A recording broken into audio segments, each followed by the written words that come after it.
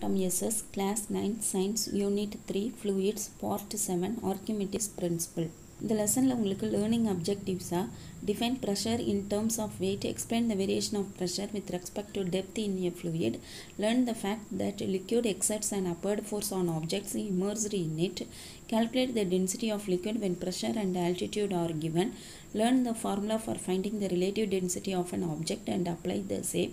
Understand the behavior of floating bodies. இதெல்லாம் உங்களுக்கு learning அப்ஜெக்டிவ்ஸாக கொடுத்துருக்காங்க. இந்த கியூஆர் கோடோட லிங்க்கும் ஐசிடி கார்னர் லிங்க்கும் கீழே டிஸ்கிரிப்ஷன் பாக்ஸில் இருக்குது அதை மிஸ் பண்ணாமல் பாருங்கள் இந்த யூனிட்டுக்கான கைடும் கீழே டிஸ்கிரிப்ஷன் பாக்ஸில் கொடுத்துருக்கோம்.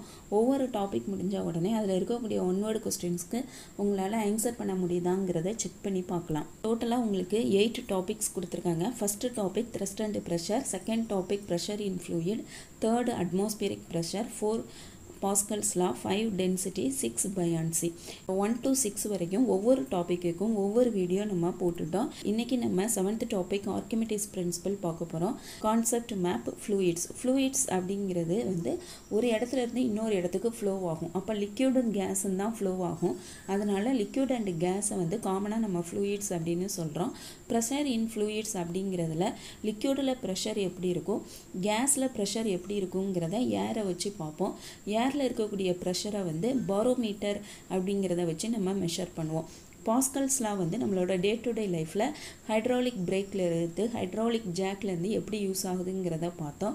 ரிலேட்டிவ் டென்சிட்டி அப்படிங்கிறது எக்ஸாம்பிளாக எடுத்துக்கிட்டேன் அதோட மற்ற சப்ஸ்டன்சஸை கம்பேர் பண்ணி பார்த்தோம். அதோட டே டு டே லைஃப்பில் ஹைட்ரோமீட்டர் அப்படிங்கிறதுல லாக்ட்ரோமீட்டர் சேச்சுரோமீட்டர் ஆல்கஹாலோமீட்டர் அப்படிங்கிறத பார்த்தோம். நம்ம வந்து லாக்டோமீட்டரை நல்ல டீப்பாக பார்த்தோம். பயான்சி அப்படிங்கிற டாப்பிக்கில் வந்து கார்டேஷியன் டைவர் எப் எப்படி ஃபங்க்ஷன் ஆகுது அப்படிங்கிறத பார்த்தோம். இன்றைக்கி இந்த வீடியோவில் நம்ம ஆர்கிமெட்டிஸ் பிரின்சிபலை பார்க்க போகிறோம் Archimedes principle Archimedes principle is the consequence of Pascal's law Pascal's லாவோட ஒரு விளைவு தான் இந்த ஆர்கிமிட்டிஸ் பிரின்சிபல் அப்படிங்கிறது. இது வந்து Archimedes devised the principle of the hydrostatic balance after the he noticed his own apparent loss in weight while sitting in his bath அவர் தன்னோட குளியல் தொட்டியில் வந்து குளிக்கும்போது அந்த தொட்டியில் மூழ்கும்போது ஒரு தன்னோட வெயிட்டை வந்து லூஸ் பண்ணுற மாதிரியான ஒரு ஃபீல் கிடைக்கிது அவருக்கு. அந்த வெயிட்டு வந்து அவரால் வெளியே தள்ளின அந்த தண்ணியோட வெயிட்டுக்கு வந்து ஈக்குவலாக இருக்கும். இந்த ஸ்டோரி வந்து நம்ம ஆல்ரெடி போன வீடியோவில் சொல்லிட்டோம். டிஸ்கவரி அந்த கிங்குக்கு வந்து அந்த பொற்கொள்ளர் செஞ்சு கொண்டு வந்த அந்த கிரீடம் அந்த க்ரௌன் வந்து ஃபுல்லாக தான் கொடுத்த கோல்டை ஃபுல்லாக யூஸ் பண்ணியிருக்காராங்கிற டவுட்டு வரும். அதை எப்படி கண்டுபிடிக்கன்னு தெரியாமல் இருப்பாங்க. அப்போ கிங் ஆர்கிமிட்டிஸ் கிட்ட சொல்லியிருக்கும்போது ஆர்கிமிட்டிஸ் வந்து அந்த பாத் டப்பில் குளிக்கும்போது தான் அவருக்கு இந்த ஐடியா தோணியிருக்கும். அப்போ அவர் என்ன பண்ணுவாருன்னு சொன்னால் அந்த ஐடியா தோணுன உடனே வந்து தான் என்ன மாதிரியான ட்ரெஸ் போட்டிருக்கோங்கிற உணர்வே இல்லாமல் யுரேக்கா யுரேக்கா அப்படின்னு சொல்லி கத்திக்கிட்டே திருவழியாக ஓடுவார். அப்போ யுரேக்கா அப்படிங்கிற வேர்டுக்கு வந்து நான் கண்டுபிடிச்சிட்டேன் அப்படிங்கிறது தான் அதோட மீனிங் அதுக்கப்புறம் அந்த ஸ்டோரிலாம் நம்ம ஏற்கனவே போன வீடியோவில் பார்த்துட்டோம்.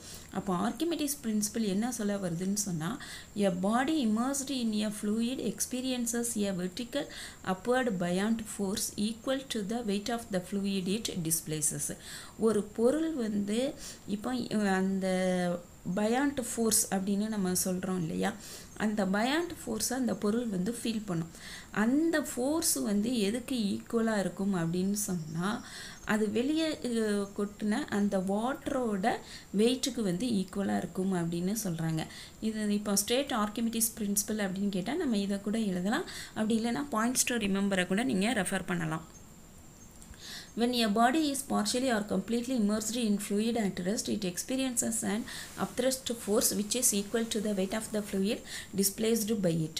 அப்போ இதை சொன்னதே தான் திரும்ப சொல்கிறாங்க ஒரு பொருள் வந்து பார்ஷியலாகவோ கம்ப்ளீட்டாகவோ அந்த ஃப்ளூயிடில் வந்து அப்படியே மூழ்கி இருக்கும்போது அது ஒரு அப்த்ரஸ்ட் ஃபோர்ஸை வந்து ஃபீல் பண்ணுது அது வெயிட் ஆஃப் த லிக் அந்த ஃப்ளூயிட் எவ்வளோ தண்ணியை வெளியில் கொட்டியிருக்குங்கிறதுக்கு ஈக்குவலாக இருக்கும்னு சொல்லிட்டாங்க.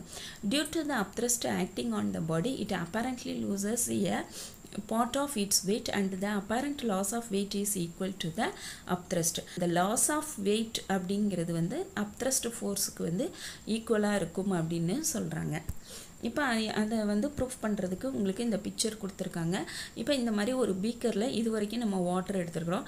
இந்த டபிள்யூ ஒன் அப்படிங்கிறது தான் true weight of object in air அப்போ ஏரில் இருக்கும்போது இதோட வெயிட் எப்படி இருக்குங்கிறத பார்க்குறோம். அடுத்ததாக இந்த இதை வந்து இது உள்ளே விடுறோம். இப்போ உள்ளே விட்ட உடனே இந்த கல் வந்து என்ன பண்ணும் அப்படின்னு சொன்னால் உள்ளே இறங்கும்போது கொஞ்சம் வாட்டர் வந்து வெளியில் வந்து கொட்டியிருக்கும். அதான் வந்து வாட்டர் டிஸ்பிளேஸ்டு அப்படின்னு சொல்கிறாங்க இந்த டபிள்யூ டூ அப்படிங்கிறது அமௌண்ட் ஆஃப் வாட்டர் டிஸ்பிளேஸ்டு இந்த body either partially or completely immersed in a fluid ஒரு ஃப்ளூயிடில் பார்ஷியலாகவோ கம்ப்ளீட்டாகவோ இமர்ஸ் ஆகிருக்கு அப்படின்னு சொன்னால் அந்த அப்த்ரஸ்ட் அப்படிங்கிறது weight of the fluid displace அப்படிங்கிறன்னு சொல்லலாம். அப்படி இல்லைன்னா apparent loss of weight of the body இந்த மூணும் ஈக்குவல் தான். அந்த அப்த்ரஸ்ட் ஃபோர்ஸ் அப்படிங்கிறது வந்து வெளியில் எவ்வளோ தண்ணி கொட்டியிருக்கோ அந்த வெயிட்டுக்கு ஈக்குவலாக இருக்கலாம். இல்லைன்னா அந்த பொருள் வந்து இல்லைன்னா அந்த ஆர்கிமிட்டிஸ் அந்த பர்த் டாப்பில் இறங்கினப்போ தான் வந்து ஒரு வெயிட்டை வந்து லூஸ் பண்ணதாக ஃபீல் பண்ணார் இல்லையா? அந்த வெயிட்டு எல்லாமே இந்த மூணுமே சேம் தான் அப்படின்னு சொல்கிறாங்க அப்போ அப்பேரண்ட் லாஸ் ஆஃப் வெயிட் அப்படின்னா அவர் தான் எவ்வளவு வெயிட்டை இழந்ததாக ஃபீல் பண்ணுறாரு அப்படின்னு சொன்னால் அதை வந்து நம்ம ஆப்ஜெக்ட் இன் ஏர் அப்படின்னு சொல்லி பார்த்தோம் இல்லையா? ஃபைண்ட் அவுட் பண்ணோம் இல்லையா? அந்த ட்ரூ வெயிட்டில் இருந்து அப்த்ரஸ்ட்டை வந்து மைனஸ் பண்ணணும். அதாவது அப்த்ரஸ்ட்டை மைனஸ் பண்ணாலும் ஒன்று தான் இல்லைனா வெயிட் ஆஃப் வாட்டர் டிஸ்பிளேஸ்டை வந்து நம்ம மைனஸ் பண்ணாலும் ஒன்று தான் அப்படிங்கிறத தெரிஞ்சுக்கணும். அப்போ நம்ம எவ்வளவு வெயிட்டை லூஸ் பண்ணுறோம் அந்த தண்ணிக்குள்ளே நம்ம வந்து வெயிட்டே இல்லாமல் ஒரு ஃபீல் பண்ணுறோம் இல்லையா? அந்த ஃபீல் பண்ணக்கூடிய அந்த வெயிட்டு வந்து நீங்கள் கண்டுபிடிக்கணும்னு சொன்னால் ட்ரூ வெயிட்டிலிருந்து எவ்வளவு வாட்டர் வெளியில் கொட்டியிருக்கோ அந்த வெயிட்டை வந்து மைனஸ் பண்ணிட்டிங்கன்னா கிடைக்கும் அப்படின்னு சொல்கிறாங்க இந்த வீடியோவில் ஆர்கிமிட்டிஸ் பிரின்சிபல் அப்படிங்கிறத பார்த்தோம். பாடி வந்து ஒரு ஃப்ளூயிடில் இம இமர்ஸ் ஆகியிருக்கு மூழ்கி இருக்கும்போது அது ஃபீல் பண்ணக்கூடிய அப்வேர்டு ஃபோர்ஸ் அப்படிங்கிறது அந்த வெயிட் ஆஃப் த லிக்யூடு வந்து வெளியில் எவ்வளோ டிஸ்பிளேஸ் ஆகிருக்கோ ஆமோ அதுக்கு வந்து ஈக்குவலாக இருக்கும் அப்படிங்கிறதான் ஆர்கிமிட்டிஸ் பிரின்சிபல் அப்படிங்கிறத பார்த்தோம். நம்ம நெக்ஸ்ட் வீடியோவில் லாஸ் ஆஃப் ஃப்ளோட்டேஷனை பற்றி பார்ப்போம். Thank you student